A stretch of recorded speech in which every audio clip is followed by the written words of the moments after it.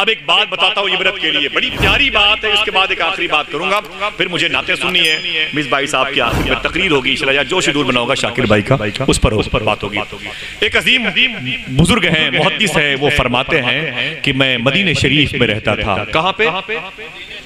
बोले बोले बोले, कहाँ पे? हुजूर के शहर का नाम सब लोग ले लें। आप में से कोई मदीने शरीफ गया है? कोई गया हो तो हाथ उठा के बताए। माशाल्लाह और नियाज भाई है वो तो मेरे साथ ही मैं हूँ बड़े भाई हैं।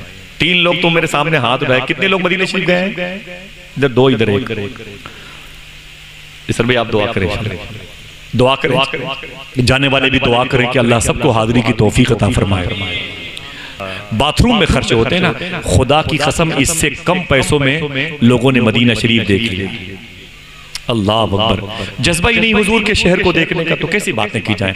पंद्रह मिनट में दस मिनट में क्या बातें की जाएँगी आपसे? बहरहाल दुआ फरमाए अल्लाह ताला सबके दिल में हुजूर के शहर को देखने की तौफीक अता फरमाए। आमीन कहते हैं आमीन सुने आप ज़्यादा बात नहीं करूँगा मैं। मुझे दो बातें करनी है इस हवाले से बस। तो दूसरों की नकल क्यों करें आप? बड़ा बनने के लिए हराम क्यों खाएँ भाई? हमें ईसाइयों और यहूदियों की और गैरों की नकल करने से नुकसान है। हमें हुजूर की सुन्नत को फॉलो करने में यहाँ भी फ़ायदा है और वहाँ भी फ़ायदा है। इस हवाले से एक बात करता हूँ। अगर याद कर लो तो आपका एहसान है वरना आता तो रहूँगा ऐसी बात नहीं कि मैं नहीं आऊँगा। आऊँगा। जैसे रातों को चुपके चुपके अपने इन भाइयों से मिल करके और सरकार दाऊद शाह की बारगाह में हाजिर देके चला जाता हूँ ऐसे फिर चला जाऊँगा। आपको आपका अपने साथ कब्र में जवाब देना पड़ेगा। मुझे मेरी कब्र में अकेले। लेकिन आप आपकी तरफ़ से मोहब्बत है तो मैं चाहता हूँ कि इसे रख लें। एक अजीम मुहदस फरमाते मैं मदीने शरीफ में रहता था। मैं काबे शरीफ की इजारत के लिए मक्का शरीफ गया। और मेरे साथ कुछ यूरोप के लोग भी थे वहाँ पर रहते थे मदीने शरीफ में। लंदन के इलाके के लोग थे। वहाँ पर एक जनाजा आया। शाकिर बैठे। इसको सुन लें आप याद कर लें। वो कहते हैं जनाजा आया। तो उस जनाजे को दफन करने के लिए जो मक्के शरीफ की अजीम कब्रस्तान है, जिसको जनतुल माला कहते हैं, माला कब्रस्तान कहते हैं, वहाँ उसे लेके गए। तो कहते हैं कि पहले के दौर में एक कब्र बड़ी नीचे गहरी खोदी जाती थी। उसमें दाएँ और बाएँ कई के मुर्दे लगाए जाते थे, स्टॉक किए जाते थे। जिससे कबाट नहीं बनता आपके यहाँ, ऐसी कबाट नुमा कब्रें बनती थी। अब इसका इसका दूसरा सिस्टम है तो वो कहते हैं कि मैंने देखा कि उस मुर्दे को उसमें दफना दिया गया। उसमें कबाट कबाट नुमा होता, उसमें डाल दिया गया। कहते हैं कि मैं मक्के शरीफ में रुक गया। चार पाँच महीने के बाद फिर एक शख्स का इंतकाल हुआ। सुने? फिर एक शख्स का इंतकाल हुआ।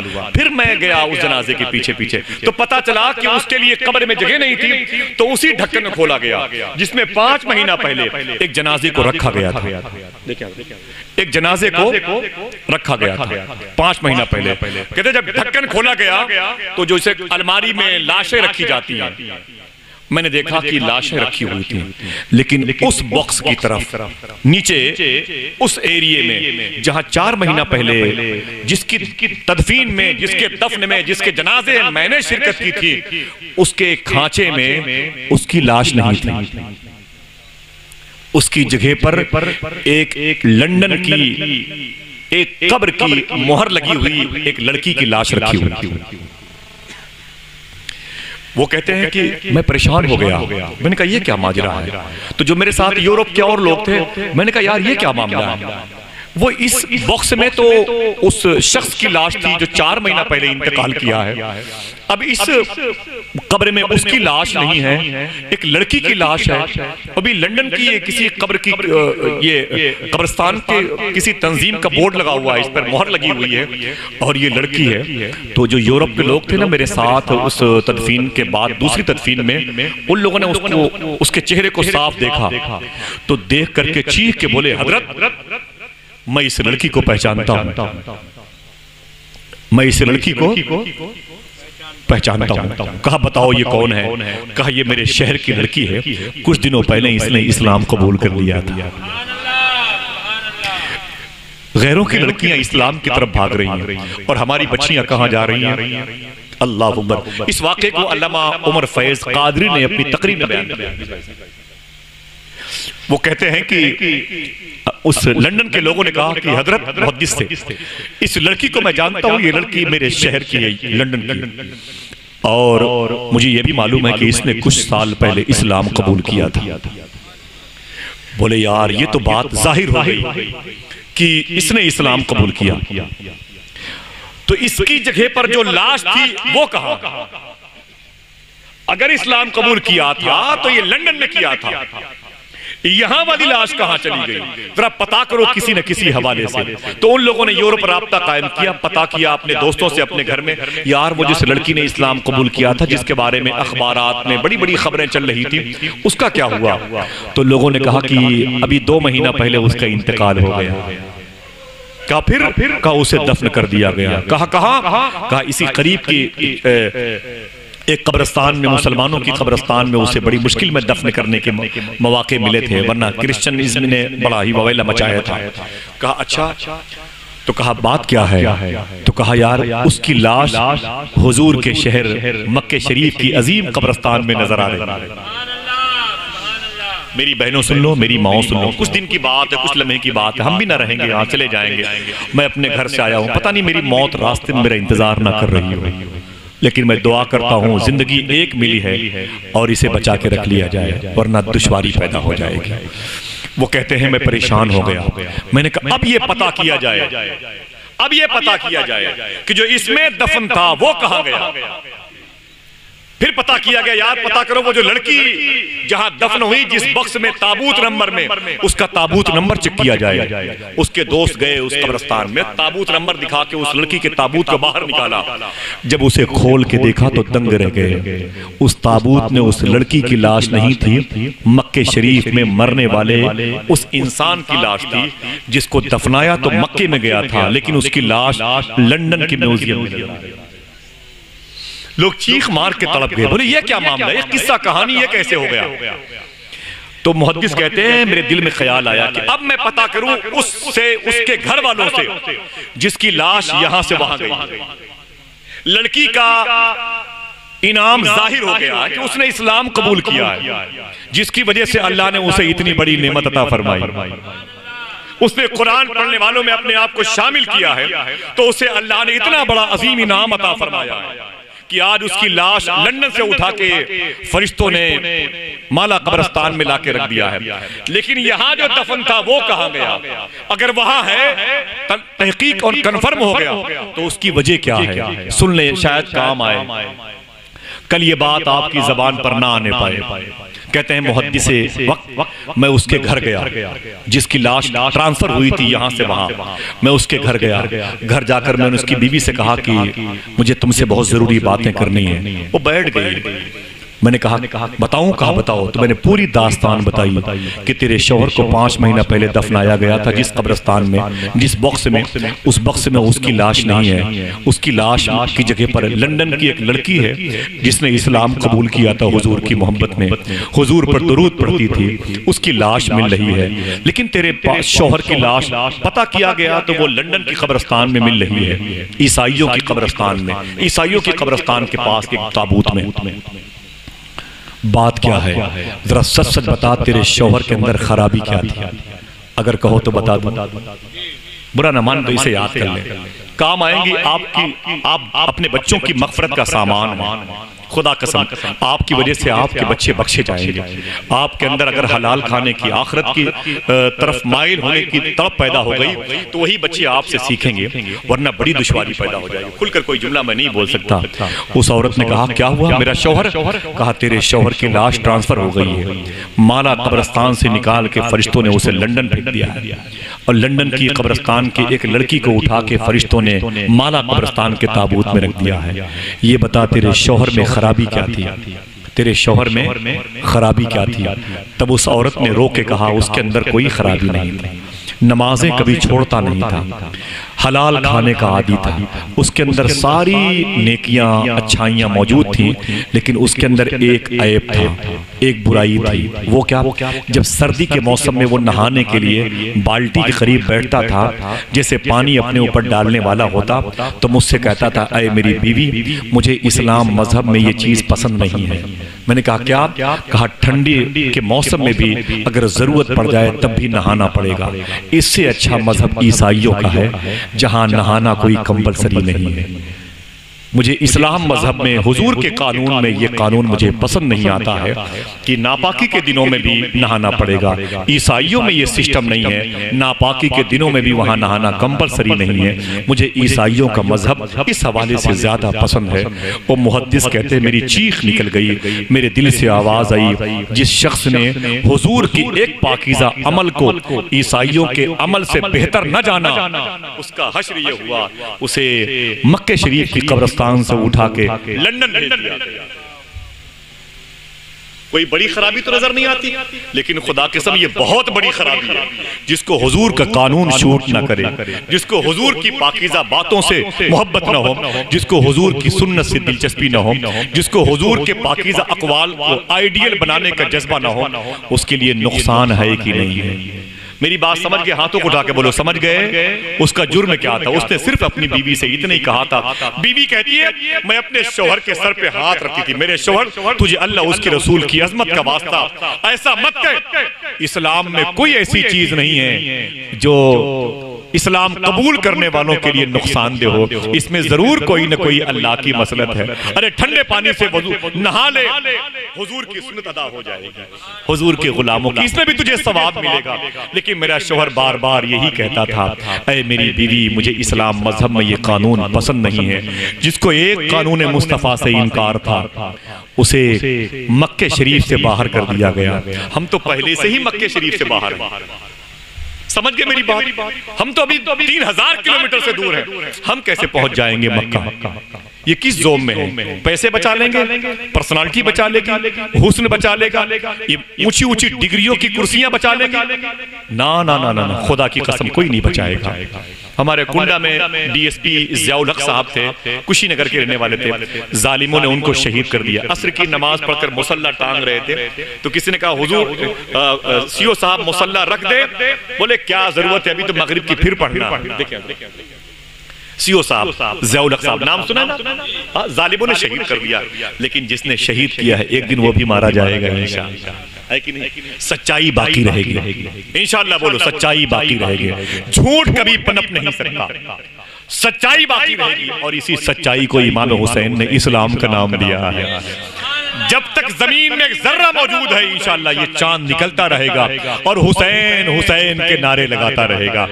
हम नमाज़ नहीं पढ़ेंगे, लेकिन मस्जिद से कभी न कभी नहीं, रोज़ाना खुदा के एक होने का ऐलान होता रहेगा, इंशाल्लाह।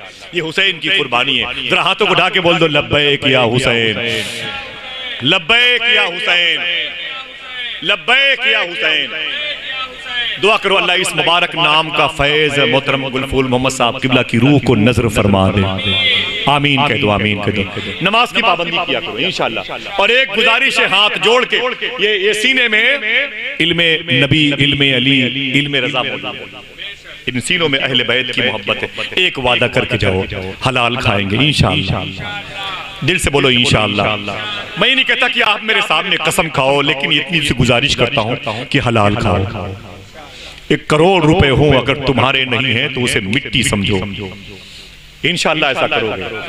हलाल खाओ ताकि हुजूर की मोहब्बत पैदा हो जाए। हलाल खाओ इनशाला अपने बच्चों को हराम न खिलाओ। बच्चे हराम खोर न बनाओ। वरना ये बच्चे कल नशे की आदि हो जाएँगे। हमारी कब्रों पर हमारी मौत की खबर हमारे बेटे सुनेंगे ना तो ये बियर बार में डांस करते होंगे। अगर हमने अपने बच्चों को हराम खिला के पाला तो। बुरा ना माने। अल्लाह ने तुम्हें बहुत कुछ दिया है।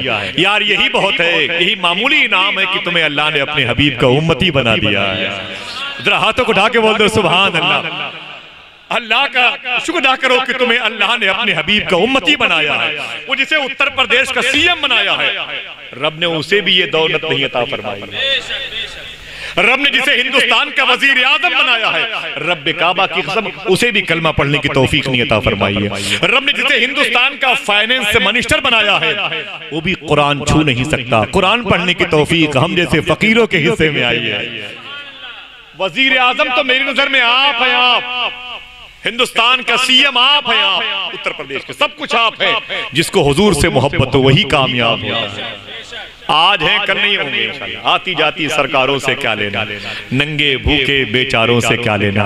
अपना खालिक अपना मालिक अफजल है। आती जाती सरकारों से क्या लेना? है कि नहीं? गरीब नवाज़ काफ़ी है, कह दो सुबह है कि नहीं भाई? गौस पाक गरीब नवाज़ साबिर पाक काफ़ी है। आला हज़रत की मोहब्बत काफ़ी है। सादात का फैजान काफ़ी है। कह दो सुबहान अल्लाह ये आते आते रहेंगे इंशाल्लाह। कोई नहीं रहेगा। गरीब नवाज़ का दरबार रहेगा इंशाल्लाह। दिल से बोलो इंशाल्लाह। जाते हो नहीं आते हो? अजमेर जाते हो? हाथ उठा के बोलो कितने लोग जा, जा चुके हैं अजमेर शरीफ? सुबह अल्लाह और कितने लोग बाकी हैं जाने वाले? जाना चाहते हैं? जो लोग जाना चाहते हैं हाथों को डाके बोले सुबह अल्लाह इनशाला शाकिर भाई गरीब नवाज़ की बारगाह में एक साहब शराब पी के आ गए। देखिए एक साहब शराब पी के नशे में आ गए। तो खादिम साहब थे वो पकड़ के दो तमाचा मार बच्चे। बाहर चल। नशे में तो खाजा साहब के रोज़े पर आ गया। उसे धक्के मार के बाहर कर दिया गया। जब बाहर हुआ तो उसी रात खादिम साहब के ख्वाब में गरीब नवाज़ आ गए। फरमाया कि मेरे दरबार में खिदमत करने वाले वो दिन में एक आया था मेरा मेहमान तूने उसे क्यों मारा? बोले हुजूर वो नशे में था।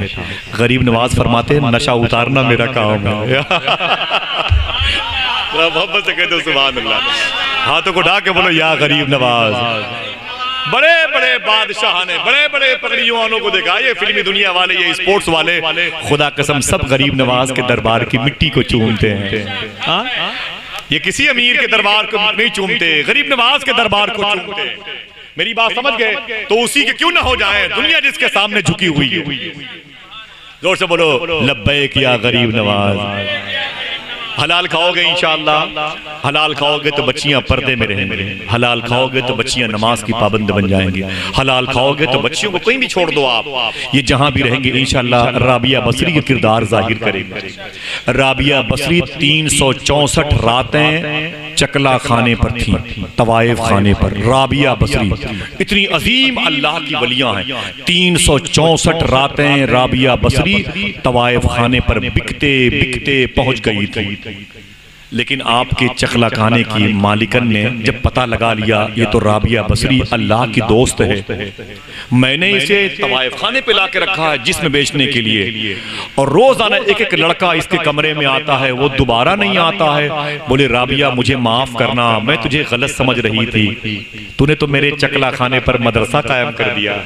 अरे राबिया ये बता तू मेरी खता को माफ़ करवा देगी तुझे मैं माफ़ करती हूँ तू आज़ाद है राबिया बसरी रो के बोली अय तवायफ खाने की मालिकन अय चकला चलाने वाली औरत, तीन सौ पैंसठ रातों में तीन सौ चौसठ रात मेरी इस कमरे में रोज़ाना नए नए लड़के मेरे जिस्म से खेलने के लिए आए थे और मैंने सबको अल्लाह का वली बना के वापस किया है। आय हाय मोहब्बत से कह दो सुबह अल्लाह।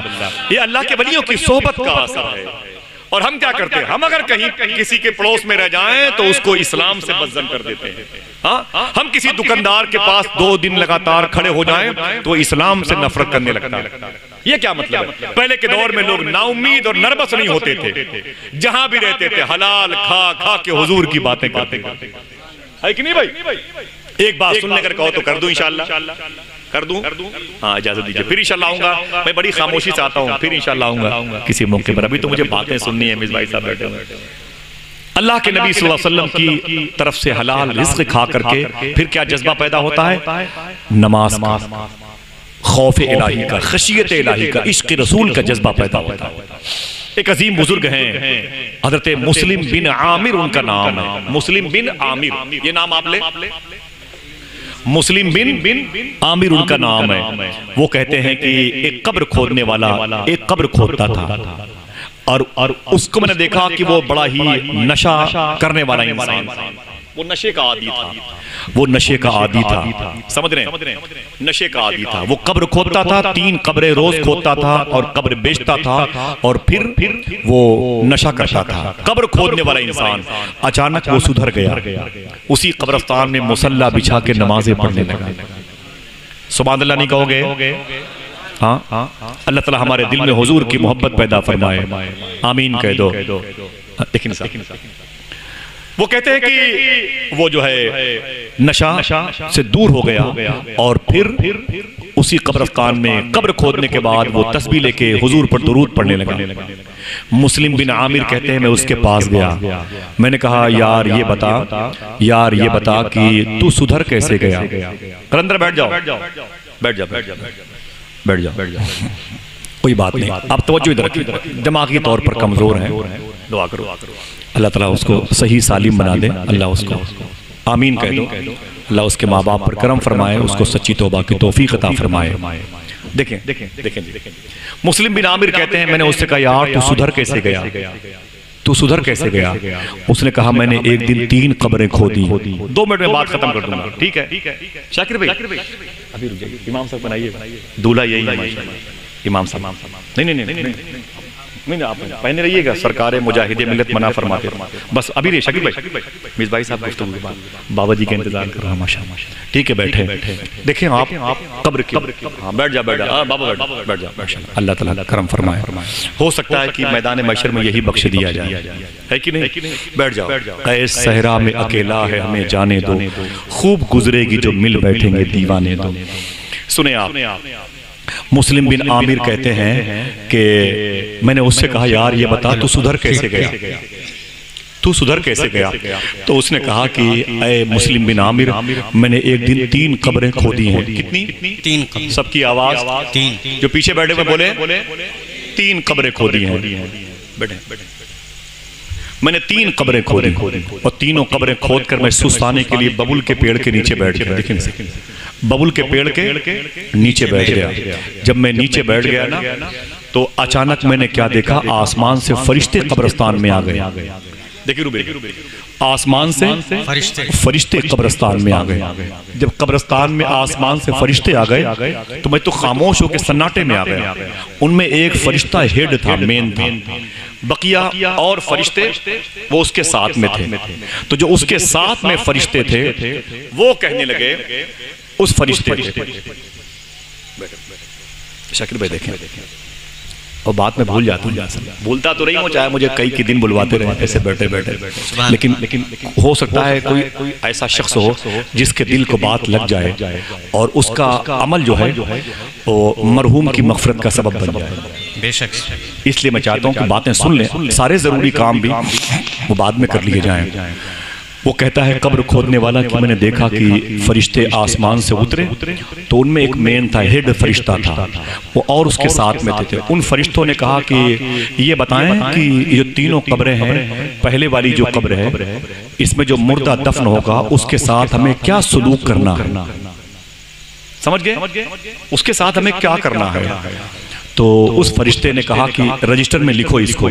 जो पहला वाला मुर्दा आएगा ना वो बड़ा नेक होगा। सुबह अल्लाह बड़ा? बड़ा? नेक होगा। बड़ा नेक होगा। उसको जब दफन करके उसके घर वाले चले जाए ना तुम उसकी कब्र को नीचे से बारह कोस तक फैला देना। हाय सुबहान अल्लाह कहते यार। सुभान अल्लाह सुभान अल्लाह बारह कोस ये पच्चीस बाई पच्चीस का फ्लेट अगर आबाद मिल जाए तो कितना खुश होते हैं। और बड़ा मिल जाए तो खुश होते हैं। कब्र में बारह कोस बारह बाई बारह कोस का फ्लेट अगर किसी को मिल रहा हो। मोहब्बत से बोले मोहब्बत से बोले। सुनिए कोई भी कोई और काम ना करे वरना सीधी से बात है। अभी तुम्हें दिक्कत हो जाएगी मेरे लिए। आप सबकी के फ़ायदे की बात है। माँ बहने मेरी सुने और ये इबरत हासिल करें। इससे मैं भी सोचता हूँ मेरी भी बच्ची है दो बेटी है। मैं भी डरता हूँ जब ये वाक्य बयान करता हूँ। पता नहीं मेरा क्या होगा मेरी बच्चियों का क्या होगा। और दिल नहीं कहता कभी कभी अल्लाह ताला मगफरत फरमाए। मुस्लिम बिन आमिर कहते हैं कि उस कब्र खोदने वाले ने कहा कि उसने कहा कि लिखो इस कब्र में जो दफन होगा उसकी कब्र को बारह कोस तक फैला देना। कितने? बारह कोस तक। बारह कोस तक उसे फैला देना। फिर वो फरिश्ते दूसरी कब्र के पास आए। दूसरी कब्र के पास आए। फिर कहने लगे कि हेड जो फरिश्ता था उससे बोले, जो इसमें दफन होगा, उसके साथ क्या सलूक करना है? तो हेड फरिश्ते ने कहा, जो इसमें दफन होगा, जो इसमें दफन होगा, वो भी बड़ा नेक होगा। सुभान अल्लाह वो भी बड़ा नेक होगा। बड़ा नेक होगा। जब वो दफन करके उसको लोग चले जाएँ तो उसकी कब्र को 40 कोस तक फैला खुशी की बात है सब लोग बोलो। सुभान अल्लाह कितने कोस तक? चालीस कोस तक। सबको समझ में आ रहा नहीं आ रहा? याद कर ले बातें। मैं कुत्तों जैसा भोगता रहता हूँ मैं जानता हूँ मेरी कोई औकात नहीं है लेकिन बातें आपके दिल तक पहुँच सकती हैं। थोड़ी देर के लिए कोई और काम नहीं करोगे तो दिक्कत नहीं आ जाएगी। समझे आप? तो वो कहते हैं कि उस फरिश्ते ने कहा कि इसमें जो मुर्दा दफन होगा उसके दफने के बाद उसको 40 कोस तक उसकी कब्र को फैला देना सुबह तो फरिश्तों ने उसे लिख लिया। लिखने के बाद तीसरी कब्र के पास आए। तो उन फरिश्तों ने कहा ये बताएँ कि जो इसमें मुर्दा दफन होगा। इसमें जो मुर्दा दफन होगा उसके साथ क्या सलूक करना है? जो पीछे बैठे हुए सुन ले। सुन ले मौत की बातें हो रही हैं। सुन ले। आपको चाहिए था ना? हज़रत मौला अली के साथ में सईद बिन मुसैब सफ़र कर रहे थे। फरमाते हैं कि मौला अली फरमाते हैं कि अय कब्र की मुर्दो रूहो बाहर निकलो। तो सईद बिन मुसैब फरमाते हैं कि सारी रूहें बाहर निकल आई। फरमाते हैं मौलाए कायनात की, अंदर की कैफियत क्या है? सुने, अंदर की कैफियत क्या है? तो मौला अली फरमाते हैं कि सईद बिन मुसैयब कहते हैं कि मौला अली के सामने कब्र की रूहें उनके पैरों से लिपट गईं। और चीख करके बोली अय आका अली, अंदर की जो कैफियत है ना, अगर बता दूँ दुनिया वालों से तो दुनिया वाले खड़े रहेंगे। उनके जिस्म का गोश्त गल जाएगा, उनकी हड्डियाँ बाकी रहेंगी। अगर अंदर की कैफियत बता दूँ ये तुम्हें उमर शरीफ की कैसेट नज़र आ रही है। ये मौत है मौत जिससे कोई बच नहीं सकता। बड़े बड़े सीएम पीएम संसद और विधायक आए ना, वो कुत्तों की मौत मारे गए। एक मुसलमान को अल्लाह ने इस ज़मीन का बैलेंस बनाने के लिए रखता है। आप अपना मेयार समझो, अपना वकार समझो। मैं कहा की बातें कर रहा हूँ? मैं कोई लतीफे नहीं बयान कर रहा हूँ। जरा सोचो कि साढ़े अड़तीस लाख वायरस में लोग मरे हैं। ये डब्ल्यू एच ओ की रिपोर्ट है। लोग कहते हैं कि एक जब पाँच मरते हैं तो हुकूमत एक कहती है। अगर 40 लाख को आप पाँच के मुकाबले में लेके आओगे तो दो करोड़ बनते हैं। दुनिया के 200 मुल्कों में दो करोड़ के आसपास लोग मर गए। अगर हम ज़िंदा हैं तो शुक्र मनाओ। अल्लाह ने हमें खुद को राज़ी करने के लिए ज़िंदा रखा है।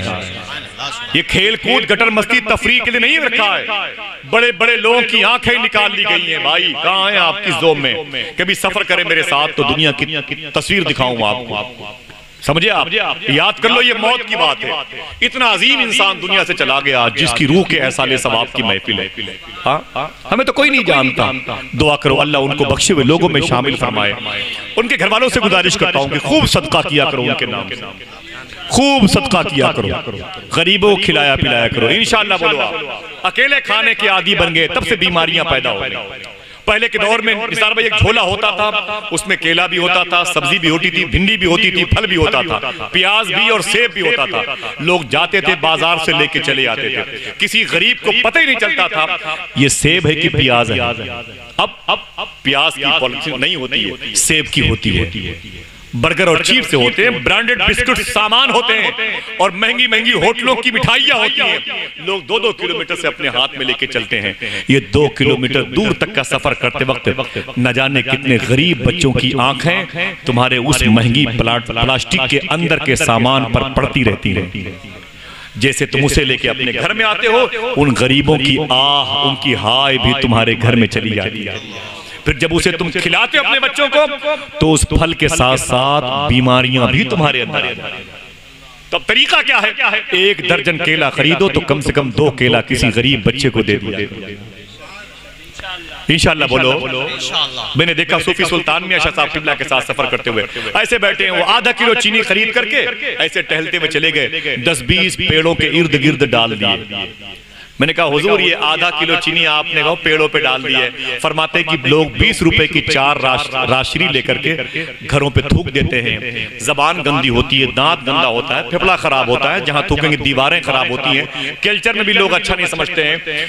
बीस रुपए में मैंने आधा किलो चीनी दस पंद्रह पेड़ के नीचे डाल दी है। कम से कम सौ दो सौ चूटियों का पेड़ तो भर जाएगा।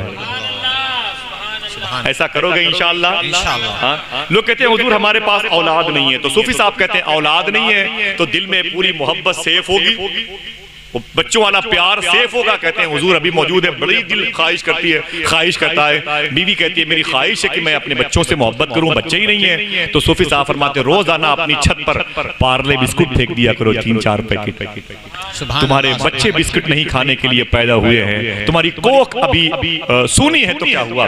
तेरे घर पर जब कबूतर कौवे आके अल्लाह का नाम लेके बिस्किट खाएँगे तो दुआ ज़रूर करेंगे अल्लाह कोई पूछेगा तेरी औलादें कितनी हैं? तो कहना इन परिंदों को गिन लो यही मेरी औलाद है। सुभान अल्लाह सुभान अल्लाह समझ गए? इस्लाम खिदमत का नाम है। तब आपको के हार्ट को सुकून मिलेगा। इंशाअल्लाह बोलो। दुआ करो अल्लाह हलाल खाने की पहली कब्र में जो मुर्दा होगा उसकी कब्र कितनी फैलेगी? बारह कोस तक। याद कर लो भाई कितनी? ज़ोर से बोलो। बारह कोस तक। दूसरी कब्र में जो मुर्दा होगा उसकी कब्र को कितनी कोस तक फैलाया जाएगा? ऊँची बोले सब लोग बोले कितने? चालीस कोस तक फैलाया जाएगा। अब बारी थी तीसरी कब्र की। बारी थी, तीसरी कब्र की। वो कब्र खोदने वाला कहता है, मैं खुश था, लेकिन जब तीसरी कब्र के पास आए, जब उनकी मैंने बातें सुनी की तो मैं कांपने लगा। बूढ़ा हो गया मैं कब्र खोदते खोदते। वहाँ छोटा सा बच्चा बैठा हुआ था। मैं और कुछ बात नहीं करूँगा इशारे में। शाकिर भाई ताज्जुब करेंगे। उस बच्चे को देख कर वो बच्चा टी शर्ट शर्ट पैंट पहने हुआ था छोटा सा बच्चा था। मेरे दोस्त ने कहा कि आसिफ भाई तकरीबन पाँच छह मरतबे अब तक इस बच्चे ने हुजूर को देख लिया। है पाँच छह मरतबे। उस बच्चे ने हुजूर की इजारत कर ली। मुझे किनारे ले गया बोला आसिफ भाई मैंने कहा क्या बात है? तो उसने एक ख्वाब की दास्तान बताई है। अल्लाह। मैंने कहा यार ये तेरा बाप क्या करता है? तो उसने बताया कि मुझे हलाल खिलाता है। हलाल खिलाता। अल्लाह हमें हुजूर की मोहब्बत पैदा हमारे दिलों के अंदर पैदा फरमाए। आमीन। आमीन कह दो आमीन बस बात खत्म करता हूँ। मेरा वक्त भी इस हवाले से तकमील तक पहुँच गया। मैंने चाहा कि मैं अपने उस अजीम भाई शाकिर भाई। ये जब मैं इलाहाबाद एयरपोर्ट पर उतरता हूँ तो यही मुझे घर छोड़ने के लिए जाते हैं। बड़े इनके ये रुबील भाई साथ में रहते हैं तो बड़े एहसानात हैं इनके। और बिलखसूस गुड्डू बाबा के कदम की बरकतें हैं। बहुत बड़ी बारगाह में रहते हैं। बहुत बड़े लोग हैं। अल्लाह उनके सदक़े में हम सबको सच्ची तोबा की तोहफी अता फरमाए। आमीन कह दो। उनसे मोहब्बत उनका प्यार उनके एहसानात। और आप जैसे लोगों से मुलाकात हो जाती है इस इलाके में आकर के। आखिरी बात सुने मैं कर रहा था, पहली कब्र को बारह कोस तक फैलाना है, दूसरी कब्र को चालीस कोस तक। वो कहता है, कब्र खोदने वाला जब तीसरी कब्र के पास फरिश्ते आए, उनकी बातों को सुन के मुझे चक्कर आ गया, मैं बेहोश हो गया। मालूम है क्या कहा? बता दूँ? उन हेड, उन फरिश्तों में जो हेड था, उसने कहा कि ये तीसरी कब्र है तो उन लोगों ने कहा फरिश्तों ने कहा जी हुजूर इसके बारे में क्या हुक्म है? उस फरिश्ते ने कहा जो मेन था उसने कहा जब तीसरी कब्र में इसमें जब मुर्दे को दफना करके उसके घर वाले बाहर चले जाएँ तो इसकी कब्र को बराबर कर देना। इसकी कब्र को बराबर कर देना। इसकी कब्र को बराबर कर देना। इस तरफ़ की पसली इधर आ जानी चाहिए। इस तरफ़ की पसली इधर आ जानी चाहिए। कहते हैं मैं चक्कर आ गया मुझे बेहोश होने की नौबत आ गई। समझ गए मेरी बात? ऐसा होगा हुआ और होता रहा। अल्लाह माफ़ फरमा। मेरे बड़े अच्छे दोस्त हैं सना खान रसूल मोहतरम मुमताज़ कादरी साहब। मुमताज़ भाई मेरी आवाज़ से आपको शायद आराम ना मिला होगा इसलिए आवाज़ नहीं नहीं। हाँ।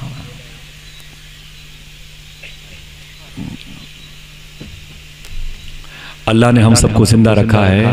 अपनी आखिरत की ज़िंदगी को बनाने के लिए। समझ रहे हैं आप? आखिरत संवारने के लिए। समझ रहे हैं? बड़ी बड़ी आप बड़ी बड़ी मशहूर दौलतमंद फैक्ट्रियों के मालिकान को देखा है। एक ऑक्सीजन का सिलेंडर मांगते हुए एक भीख मांग हुए। सुभान अल्लाह बड़ी कुर्बानियाँ हैं बड़ा आबरू है भाई इस इलाके की। अरे मिस भाई साहब दुआ करे अल्लाह बाकराम के कदम की बरकतें अता आमीन वो कहते हैं कि जब तीसरी कब्र की बारी आई तो उस फरिश्ते ने कहा कि इसे यूँ बराबर कर देना। यूँ यूँ बराबर बराबर कर देना। वो कब्र खोदने वाला कहता है मुझे चक्कर आ गया मैं बेहोश हो गया। बात खत्म हो गई, वो फरिश्ते चले गए। अब मैं इंतज़ार करने लगा कि पहली कब्र में जो मुर्दा दफनाया जाएगा, वो नेक होगा। बारह कोस तक उसकी कब्र फैलाई जाएगी। दूसरी कब्र में जो मुर्दा दफनाया जाएगा, वो भी नेक होगा। उसकी कब्र नीचे से चालीस कोस तक फैलाई जाएगी। तीसरी कब्र में जो मुर्दा दफनाया जाएगा, वो बहुत बुरा होगा। उसके साथ बहुत बुरा सलूक किया जाने वाला है। मुमताज़ भाई, देखा मैंने बचपन से। अजमल सुल्तानपुरी बेकल साहिब बलरामपुरी राज इलाहाबादी ज़फ़र जलालपुरी हुनर पलामी बिस्मिल भागलपुरी मोइन जामी। इन जैसे लोगों के साथ बड़े सफ़र किए हैं बड़ी ज़िंदगी गुजरी है। आज ये मेरे सारे दोस्त नहीं हैं। और इनके अलावा जिनका इंतकाल हुआ है जैसे हसन नवाज़ सीवानी है जैसे अल्लामा कारी अल्लामा अबुल हक्कानी साहब बुलबुल बंगाल अल्लाह अल्लामा कमरुद्दीन साहब अल्लामा हनीफुल कादरी साहब। अल्लाह इन लोगों की मगफरत फरमाए इनके दर्जात बुलंदी अता फरमाए। ऐसे एक दिन ऐसा है मेरे बारे में भी आएगा वो दुनिया का कुत्तों से बदतर सुअर से बदतर इंसान एक मर गया बहुत देर देर तक बातें करता था। कुछ नहीं होगा आप ऐलान सुनेंगे और कहेंगे अच्छा हुआ मर गया वो। ठीक है वो आपके तनकीद पर कुछ नहीं होगा लेकिन जो बुरा काम मैंने किया है मुझे सजा ज़रूर मिलेगी। कहते हैं वो कब्र खोदने वाला कहता है कि मैं समझ गया कि दो कब्रों में नेक मुर्दे आएँगे एक कब्र में बहुत बहुत बहुत घटिया किस्म का इंसान आएगा। बस मैं बैठ गया देखूँ आज इन तीनों कब्रों को खरीदता कौन है? मुस्लिम बिन आमिर कहते हैं थोड़ी देर के बाद एक जनाजा आया। उस जनाजे को सात लोग उठाए हुए थे। कितने लोग? लोग। बोले? बोले? और ऊँची बोले बोले? वादा करो बताओगे अपनी बहन बेटियों से? बताओगे इंशाल्लाह? आपकी ज़िम्मेदारी है चराग से चराग जलाओगे कि खाली खेल कूद करोगे मोबाइल आ गया तो क्या मतलब है? जन्नत मिल गई है और पचास हज़ार एक लाख का मोबाइल बच्चों को दे दिया तो क्या मतलब है कि हुजूर की मफरत का सामान है? सूफी सुल्तान में फरमाते हैं कि तुम इसी मोबाइल की स्क्रीन पर तस्वीरें देखते देखते दो दो घंटे। उंगलियों को इसमें मसरूफ रखते हो आँखें दिल सब बिज़ी हैं। तुम्हें नींद आती है उंगलियाँ थक जाती हैं मोबाइल गिर जाता है। तुम सो जाते हो। सूफी सुल्तान फरमाते हैं, तुम तो सो जाते हो, लेकिन रात भर मदीने में हुजूर तेरे दरूद का इंतज़ार करते रहते हैं। कहते हैं, जालिम तू क्या समझता है? हुजूर को खबर नहीं है। जो ये कहता है कि हुजूर ये नहीं जानते, उसके इस ना जानने को भी हुजूर जानते हैं। हुजूर कितना जानते हैं? गरीब नवाज़ के खलीफा ख्वाजा कुतुबुद्दीन बख्तियार काकी हैं। रोज़ाना तीन हज़ार मरतबे दरूद शरीफ पढ़ते थे। कितनी मरतबे?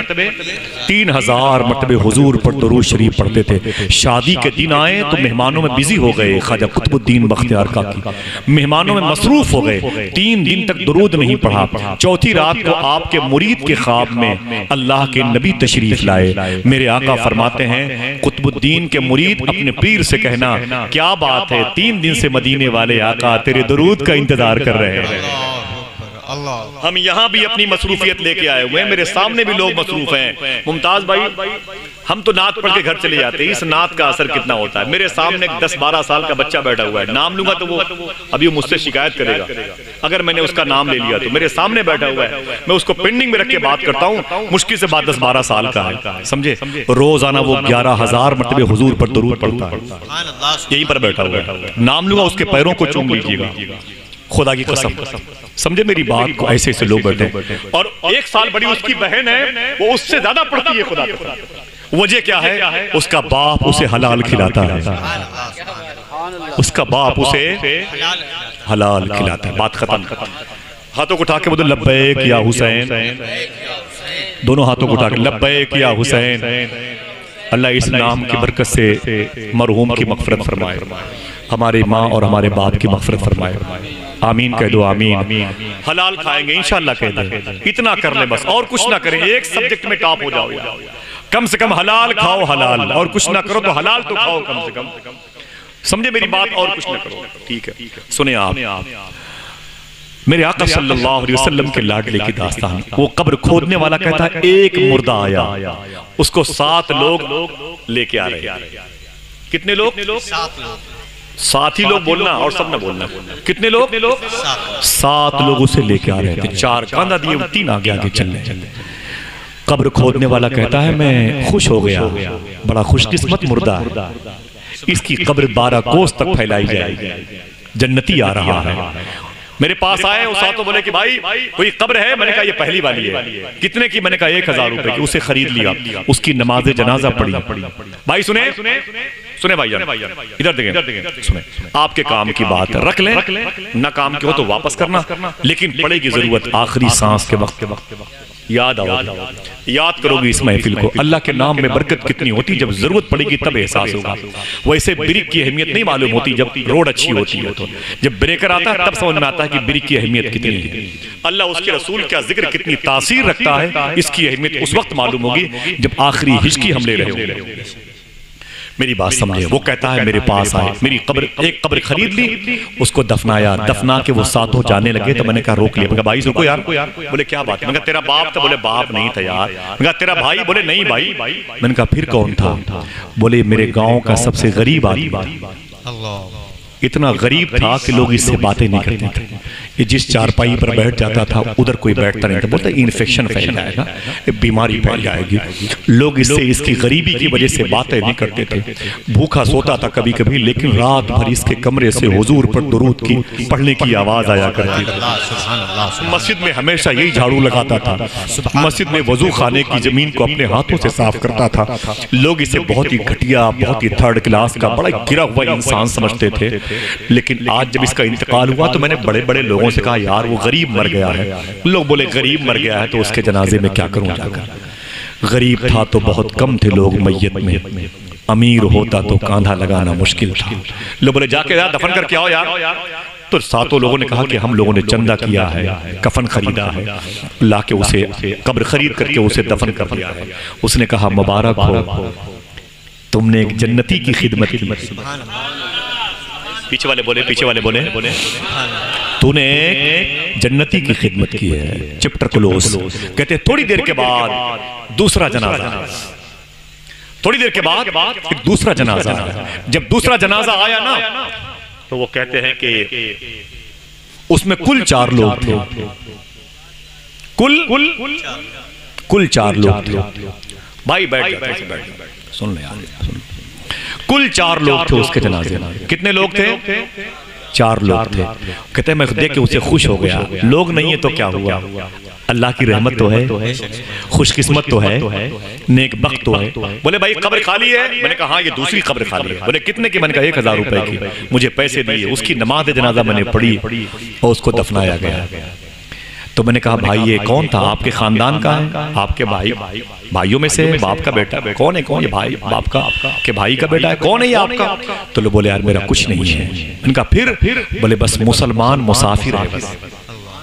बोले क्या मतलब? बोले मेरे मोहल्ले से मेरे कस्बे के करीब से ये गुजर रहा था बीमार हुआ और मर गया। दो तीन दिन तो अपने खेमे में था तंबू कनात लगा के रहता था मर गया। तो हमने गाँव वालों से कहा यार एक मुसाफिर मरा है। तीन दिन हुए उसको इधर से गुजरते हुए वहाँ ठहरा हुआ है। जब से आया है तब से अकेले ही अपने खेमा अपने तंबू कनात के साय में अजान देता है नमाजें पढ़ता है। अकेला था मर गया है उसे दफना दिया जाए। तो गाँव के पैसे वालों ने कहा उसके पैर में रस्सी बाँध के जंगल में फेंक दो उसको तो मैंने कहा यार मुसलमान था। बोले मुसलमान है तो क्या? हुआ पता नहीं किस बिरादरी का है। तो मैंने कहा बिरादरी क्या देखनी भाई इसमें। अरे हुजूर की उम्मत में से है कि नहीं है? ये तुमने कहा से लाके रख दिया बीच में बिरादरी का मामला बोल। बोल। बोले गाँव के लोग मुझ पर नाराज़ हो। गए बोले तुझसे हमदर्दी है तो जाके उसे दफन कर। तो चार कहते हैं मैंने पैसे जोड़े चारों मिल करके कफन दफन के और पैसे ला करके इसको नहलाया अपने हाथों से। कोई अमीर आदमी नहीं आया। और ला करके कब्रस्तान पे एक हज़ार की कब्र खरीदी और अब इसे दफन करके वापस जा रहा हूँ। उसने कहा खुश हो जाओ तुमने एक जन्नती की खिदमत की। और मोहब्बत से बोलो बोलो तुमने एक जन्नती की खिदमत की जन्नती की खिदमत। खिदमत। अब अब आखिरी कब्र की दास्तान सुन लो। मेरी बहनों मेरी माओ सुन लो। मैं न रहूँगा। मैं भी ज़मीन पर बोझ हूँ। मैं भी कुत्तों के तरीके से कहीं और भोंकने के लिए चला जाऊँगा।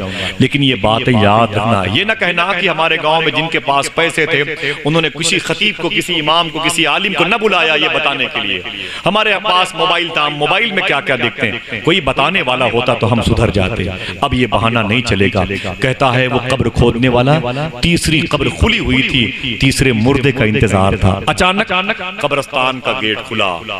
एक मुर्दा ऐसा मुर्दा इतनी भीड़ थी उसके जनाजे में आदमी पे आदमी चढ़ा हुआ था उसकी कब्र इतने फूलों से लाद दिया गया था और बड़े बड़े सफ़ेद कुर्ता पजामा पहन करके टहलने वाले वो दरोगा जी हैं वो सीओ साहब हैं वो कुतवाल हैं वो एस डी एम है वो डी एम है वो आई एस हैं वो आई पी एस हैं वो आई जी हैं वो डी आई जी हैं वो फला है वो मना वो मंत्री हैं वो संतरी हैं वो वज़ीर हैं वो जो है उमरा और रौसा में शामिल हैं वगैरह वगैरह फरमाते हैं वो लंबी सी भीड़ लगी हुई थी कब्रस्तान पर। जूते पहन पहन के खबरों पे लोग टहल रहे थे।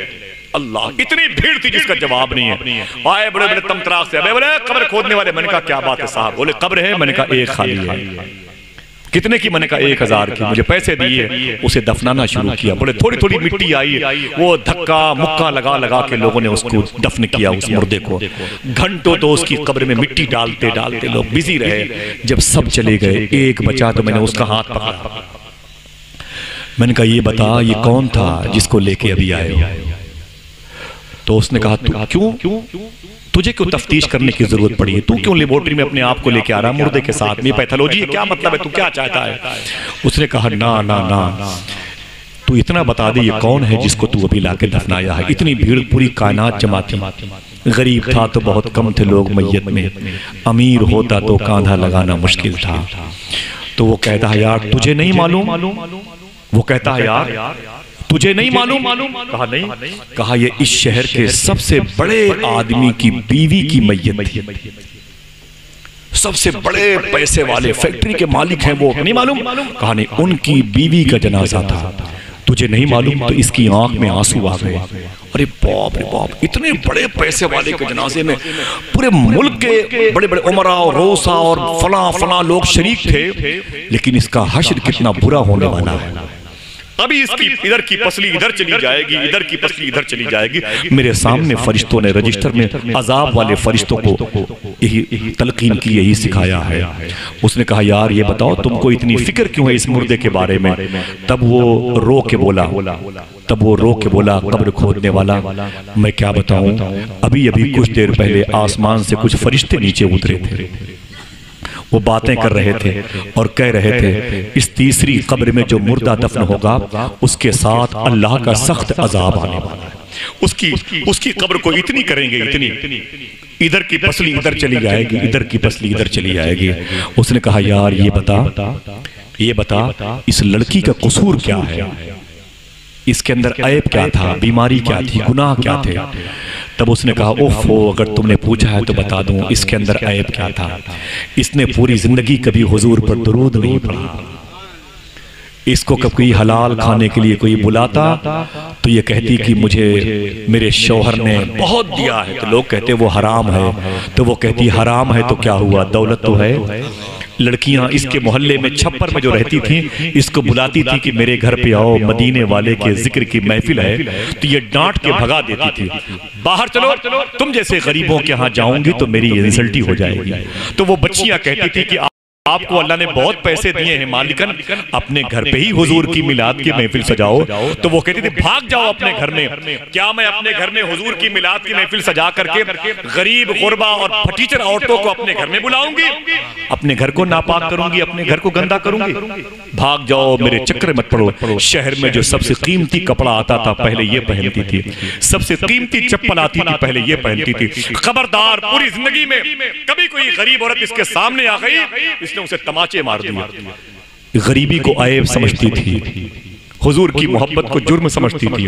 हुजूर के तस्करे को ये अदब के खिलाफ समझती थी माजल्ला वो रो के बोला अल्लाह अकबर अल्लाह अकबर। अब तो ज़मीन पर वो नहीं है ज़मीन के नीचे है। हाय अफसोस कि हुजूर की दूरी उसे जहन्नम के करीब कर रही है।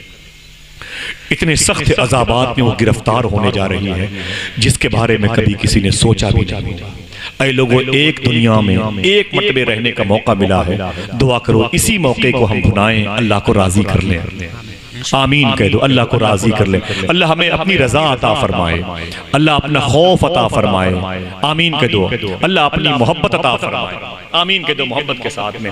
बातें हो सकती हैं। मैंने इसलिए बातें की ना मुमताज़ भाई की कुछ ही लोग थे मेरे सामने। मैंने दस मिनट देर कर दिया आने में वरना अल्लाह का शुक्र है कि वो दस लोग काफ़ी हैं मेरे सामने। हाँ मैं अभी उदयपुर में था। वहाँ भी यही काम था फिर गोवा गया। गोवा में भी यही काम था मुंबई गया वहाँ भी यही काम था।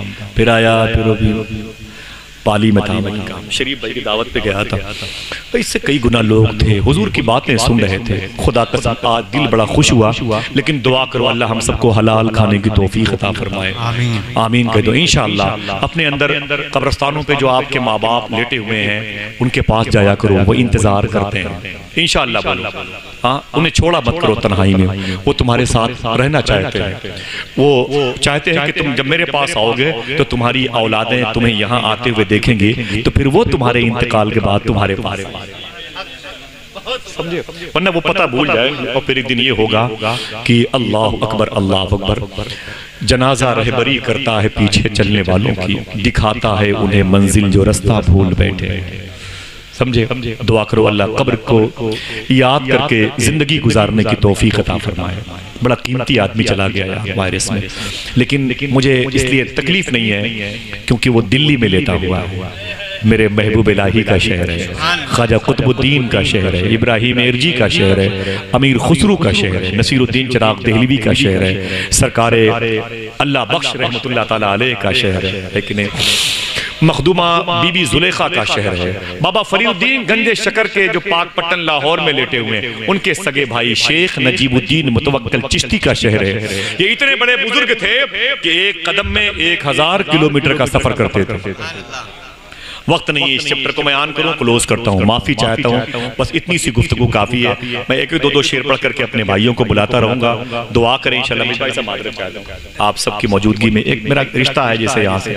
तकरीबन बारह पंद्रह साल से मैं आता हूँ दोस्तों के यहाँ। फिर किसी मौके पर हम और आप तनहाई में बैठ करके बातें करेंगे। कहेंगे, कैस, सहरा में अकेला है, मुझे जाने दो। खूब गुजरेगी जो मिल बैठेंगे, दीवाने दो। इजाज़त दीजिए, मैं गुजारिश करता हूँ। फिर किसी मौके पर मुलाकात होगी, इंशाल्लाह। हाफिज कारी सलमान सलमान रजा साहब से गुजारिश कर रहा हूँ कि वो तशरीफ़ लाएँ, भाई मुमताज़ कादरी, अख्तर फैज़ी, जितने भी मेरे मोहसिन बैठे हुए हैं, उन तक पहुँचने से पहले आप नाते मुस्तफ़ा सल्लल्लाहु अलैहि वसल्लम समात फरमाएँ और जी खोल करके हुजूर के नाम पर मचलें, तड़पें, अपनी नेकियों की जम्बील को बावजन करें, ज़रा फिर से अपने हाथों को उठा के बोल दें, लब्बैक या हुसैन। एक आदमी दरमियान से खड़े होकर के नारा लगा एक आदमी दरमियान से खड़े होकर के इमाम हुसैन के नाम पर यह नारा बुलंद करें करें।